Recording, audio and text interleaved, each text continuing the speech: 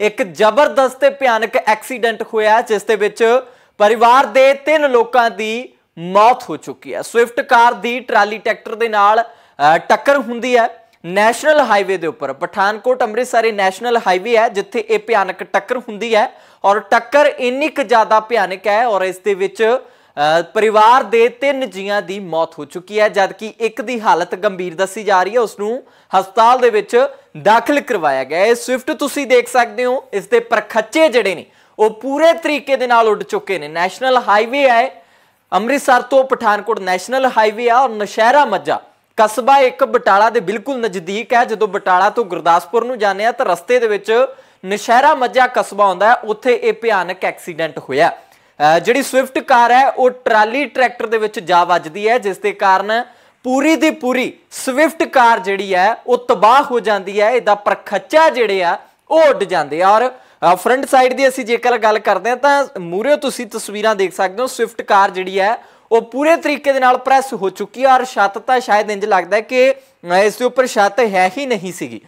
ਜਿਸ ਤਰੀਕੇ ਦੇ ਨਾਲ ਇਹਦੇ ਉੱਪਰੋਂ ਛੱਤ ਜਿਹੜੀ ਉੱਡੀ ਹੋਈ ਹੈ, ਤਾਂ ਇੱਥੋਂ ਅੰਦਾਜ਼ਾ ਲਗਾ ਸਕਦੇ ਹੋ ਤੁਸੀਂ ਕਿ ਕਿੰਨੇ ਭਿਆਨਕ ਤਰੀਕੇ ਦੇ ਨਾਲ ਐਕਸੀਡੈਂਟ ਜਿਹੜਾ ਉਹ ਹੋਇਆ ਹੋਵੇਗਾ। ਤਾਂ ਇਸ ਦੇ ਵਿੱਚ ਚਾਰ ਲੋਕ ਸਵਾਰ ਸੀਗੇ, ਜਿਨ੍ਹਾਂ ਦੇ ਵਿੱਚੋਂ ਤਿੰਨ ਲੋਕਾਂ ਦੀ ਹੁਣ ਮੌਤ ਹੋ ਚੁੱਕੀ ਹੈ ਔਰ ਇੱਕ ਦੀ ਹਾਲਤ ਗੰਭੀਰ ਦੱਸੀ ਜਾ ਰਹੀ ਹੈ, ਜਿਸ ਨੂੰ ਹਸਪਤਾਲ ਦੇ ਵਿੱਚ ਦਾਖਲ ਕਰਵਾਇਆ ਗਿਆ। ਮੀਂਹ ਬਹੁਤ ਜ਼ਿਆਦਾ ਪੈ ਰਿਹਾ, ਅੱਜ ਤੜਕਸਾਰ ਦੀ ਇਹ ਘਟਨਾ ਦੱਸੀ ਜਾ ਰਹੀ ਹੈ।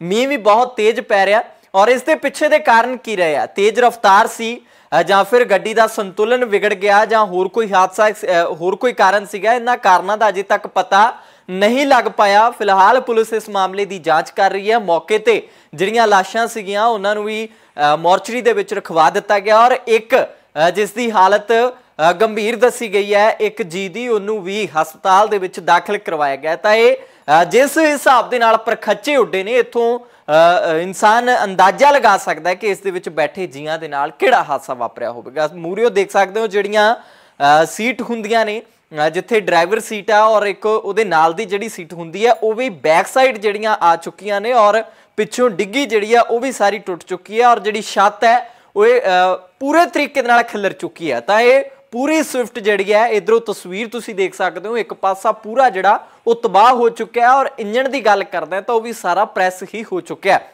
ਕੱਲਾ ਕੱਲਾ ਪੁਰਜਾ ਜਿਹੜਾ ਸਵਿਫਟ ਦਾ ਉਹ ਬਾਹਰ ਨਿਕਲ ਚੁੱਕਿਆ ਹੈ। ਇਹ ਸਟੀਅਰਿੰਗ ਦੀਆਂ ਤਸਵੀਰਾਂ ਨੇ, ਉਹ ਟੋਟਲੀ ਤਬਾਹ ਹੋ ਗਿਆ ਔਰ 에ਅਰ ਬੈਗਸ ਦੀ ਗੱਲ ਕਰਦਾ ਤਾਂ ਉਹ ਤਾਂ ਇੱਥੇ ਦਿਖਦੇ ਹੀ ਨਹੀਂ ਹੈ ਕਿ ਸ਼ਾਇਦ ਹੈਗੇ ਆ ਕਿ ਨਹੀਂ ਹੈਗੇ ਇਸ ਦੇ ਵਿੱਚ।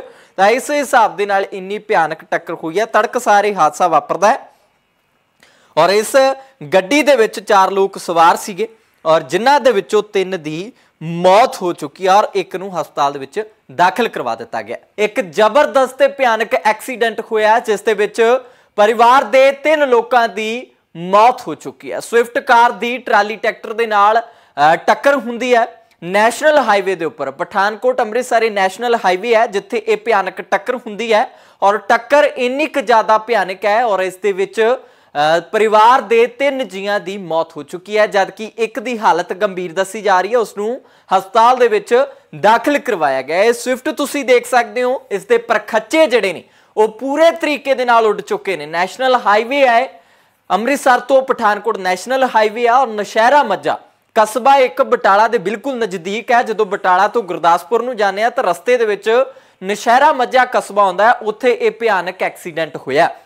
ਜਿਹੜੀ ਸਵਿਫਟ ਕਾਰ ਹੈ, ਉਹ ਟਰਾਲੀ ਟਰੈਕਟਰ ਦੇ ਵਿੱਚ ਜਾ ਵੱਜਦੀ ਹੈ, ਜਿਸ ਦੇ ਕਾਰਨ ਪੂਰੀ ਦੀ ਪੂਰੀ ਸਵਿਫਟ ਕਾਰ ਜਿਹੜੀ ਹੈ, ਉਹ ਤਬਾਹ ਹੋ ਜਾਂਦੀ ਹੈ, ਇਹਦਾ ਪਰਖੱਚਾ ਜਿਹੜੇ ਆ, ਉਹ ਉੱਡ ਜਾਂਦੇ ਆ। ਔਰ ਫਰੰਟ ਸਾਈਡ ਦੀ ਅਸੀਂ ਜੇਕਰ ਗੱਲ ਕਰਦੇ ਹਾਂ, ਤਾਂ ਮੂਰੇ ਤੁਸੀਂ ਤਸਵੀਰਾਂ ਦੇਖ ਸਕਦੇ ਹੋ ਸਵਿਫਟ ਕਾਰ ਜਿਹੜੀ ਹੈ, ਉਹ ਪੂਰੇ ਤਰੀਕੇ ਦੇ ਨਾਲ ਪ੍ਰੈਸ ਹੋ ਚੁੱਕੀ ਹੈ, ਔਰ ਛੱਤ ਤਾਂ ਸ਼ਾਇਦ ਇੰਜ ਲੱਗਦਾ ਕਿ ਇਸ ਦੇ ਉੱਪਰ ਛੱਤ ਹੈ ਹੀ ਨਹੀਂ ਸੀਗੀ। ਜਿਸ ਤਰੀਕੇ ਦੇ ਨਾਲ ਇਹਦੇ ਉੱਪਰੋਂ ਛੱਤ ਜਿਹੜੀ ਉੱਡੀ ਹੋਈ ਹੈ, ਤਾਂ ਇੱਥੋਂ ਅੰਦਾਜ਼ਾ ਲਗਾ ਸਕਦੇ ਹੋ ਤੁਸੀਂ ਕਿ ਕਿੰਨੇ ਭਿਆਨਕ ਤਰੀਕੇ ਦੇ ਨਾਲ ਐਕਸੀਡੈਂਟ ਜਿਹੜਾ ਉਹ ਹੋਇਆ ਹੋਵੇਗਾ। ਤਾਂ ਇਸ ਦੇ ਵਿੱਚ ਚਾਰ ਲੋਕ ਸਵਾਰ ਸੀਗੇ, ਜਿਨ੍ਹਾਂ ਦੇ ਵਿੱਚੋਂ ਤਿੰਨ ਲੋਕਾਂ ਦੀ ਹੁਣ ਮੌਤ ਹੋ ਚੁੱਕੀ ਹੈ ਔਰ ਇੱਕ ਦੀ ਹਾਲਤ ਗੰਭੀਰ ਦੱਸੀ ਜਾ ਰਹੀ ਹੈ, ਜਿਸ ਨੂੰ ਹਸਪਤਾਲ ਦੇ ਵਿੱਚ ਦਾਖਲ ਕਰਵਾਇਆ ਗਿਆ। ਮੀਂਹ ਬਹੁਤ ਜ਼ਿਆਦਾ ਪੈ ਰਿਹਾ, ਅੱਜ ਤੜਕਸਾਰ ਦੀ ਇਹ ਘਟਨਾ ਦੱਸੀ ਜਾ ਰਹੀ ਹੈ। ਮੀਂਹ ਵੀ ਬਹੁਤ ਤੇਜ਼ ਪੈ ਰਿਹਾ ਔਰ ਇਸ ਦੇ ਪਿੱਛੇ ਦੇ ਕਾਰਨ ਕੀ ਰਹੇ ਆ? ਤੇਜ਼ ਰਫ਼ਤਾਰ ਸੀ ਜਾਂ ਫਿਰ ਗੱਡੀ ਦਾ ਸੰਤੁਲਨ ਵਿਗੜ ਗਿਆ ਜਾਂ ਹੋਰ ਕੋਈ ਹਾਦਸਾ ਹੋਰ ਕੋਈ ਕਾਰਨ ਸੀਗਾ ਇਹਨਾਂ ਕਾਰਨਾਂ ਦਾ ਅਜੇ ਤੱਕ ਪਤਾ ਨਹੀਂ ਲੱਗ ਪਾਇਆ। ਫਿਲਹਾਲ ਪੁਲਿਸ ਇਸ ਮਾਮਲੇ ਦੀ ਜਾਂਚ ਕਰ ਰਹੀ ਹੈ। ਮੌਕੇ ਤੇ ਜਿਹੜੀਆਂ ਲਾਸ਼ਾਂ ਸੀਗੀਆਂ ਉਹਨਾਂ ਨੂੰ ਵੀ ਅ, ਮੋਰਚਰੀ ਦੇ ਵਿੱਚ ਰਖਵਾ ਦਿੱਤਾ ਗਿਆ ਔਰ ਇੱਕ ਜਿਸ ਦੀ ਹਾਲਤ ਗੰਭੀਰ ਦੱਸੀ ਗਈ ਹੈ ਇੱਕ ਜੀ ਦੀ ਉਹਨੂੰ ਵੀ ਹਸਪਤਾਲ ਦੇ ਵਿੱਚ ਦਾਖਲ ਕਰਵਾਇਆ ਗਿਆ ਤਾਂ ਇਹ ਜਿਸ ਹਿਸਾਬ ਦੇ ਨਾਲ ਪ੍ਰਖੱਚੇ ਉੱਡੇ ਨੇ ਇੱਥੋਂ ਇਨਸਾਨ ਅੰਦਾਜ਼ਾ ਲਗਾ ਸਕਦਾ ਹੈ ਕਿ ਇਸ ਦੇ ਵਿੱਚ ਬੈਠੇ ਜੀਆਂ ਦੇ ਨਾਲ ਕਿਹੜਾ ਹਾਦਸਾ ਵਾਪਰਿਆ ਹੋਵੇਗਾ। ਮੂਰਿਓ ਦੇਖ ਸਕਦੇ ਹੋ ਜਿਹੜੀਆਂ ਸੀਟ ਹੁੰਦੀਆਂ ਨੇ ਜਿੱਥੇ ਡਰਾਈਵਰ ਸੀਟ ਆ ਔਰ ਇੱਕ ਉਹਦੇ ਨਾਲ ਦੀ ਜਿਹੜੀ ਸੀਟ ਹੁੰਦੀ ਹੈ ਉਹ ਵੀ ਬੈਕ ਸਾਈਡ ਜਿਹੜੀਆਂ ਆ ਚੁੱਕੀਆਂ ਨੇ ਔਰ ਪਿੱਛੋਂ ਡਿੱਗੀ ਜਿਹੜੀ ਆ ਉਹ ਵੀ ਸਾਰੀ ਟੁੱਟ ਚੁੱਕੀ ਹੈ ਔਰ ਜਿਹੜੀ ਛੱਤ ਹੈ ਉਹ ਇਹ, ਪੂਰੇ ਤਰੀਕੇ ਦੇ ਨਾਲ ਖਿਲਰ ਚੁੱਕੀ ਹੈ। ਤਾਂ ਇਹ ਪੂਰੀ ਸਵਿਫਟ ਜਿਹੜੀ ਹੈ, ਇਧਰੋਂ ਤਸਵੀਰ ਤੁਸੀਂ ਦੇਖ ਸਕਦੇ ਹੋ, ਇੱਕ ਪਾਸਾ ਪੂਰਾ ਜਿਹੜਾ ਉਹ ਤਬਾਹ ਹੋ ਚੁੱਕਿਆ ਔਰ ਇੰਜਣ ਦੀ ਗੱਲ ਕਰਦਾ ਤਾਂ ਉਹ ਵੀ ਸਾਰਾ ਪ੍ਰੈਸ ਹੀ ਹੋ ਚੁੱਕਿਆ ਹੈ। ਕੱਲਾ ਕੱਲਾ ਪੁਰਜਾ ਜਿਹੜਾ ਸਵਿਫਟ ਦਾ ਉਹ ਬਾਹਰ ਨਿਕਲ ਚੁੱਕਿਆ ਹੈ, ਇਹ ਸਟੀਅਰਿੰਗ ਦੀਆਂ ਤਸਵੀਰਾਂ ਨੇ, ਉਹ ਟੋਟਲੀ ਤਬਾਹ ਹੋ ਗਿਆ ਔਰ 에ਅਰ ਬੈਗਸ ਦੀ ਗੱਲ ਕਰਦਾ ਤਾਂ ਉਹ ਤਾਂ ਇੱਥੇ ਦਿਖਦੇ ਹੀ ਨਹੀਂ ਹੈ ਕਿ ਸ਼ਾਇਦ ਹੈਗੇ ਆ ਕਿ ਨਹੀਂ ਹੈਗੇ ਇਸ ਦੇ ਵਿੱਚ। ਤਾਂ ਇਸ ਹਿਸਾਬ ਦੇ ਨਾਲ ਇੰਨੀ ਭਿਆਨਕ ਟੱਕਰ ਹੋਈ ਹੈ, ਤੜਕ ਸਾਰੇ ਹਾਦਸਾ ਵਾਪਰਦਾ ਹੈ। ਔਰ ਇਸ ਗੱਡੀ ਦੇ ਵਿੱਚ ਚਾਰ ਲੋਕ ਸਵਾਰ ਸੀਗੇ। ਔਰ ਜਿਨ੍ਹਾਂ ਦੇ ਵਿੱਚੋਂ ਤਿੰਨ ਦੀ ਮੌਤ ਹੋ ਚੁੱਕੀ ਹੈ ਔਰ ਇੱਕ ਨੂੰ ਹਸਪਤਾਲ ਦੇ ਵਿੱਚ ਦਾਖਲ ਕਰਵਾ ਦਿੱਤਾ ਗਿਆ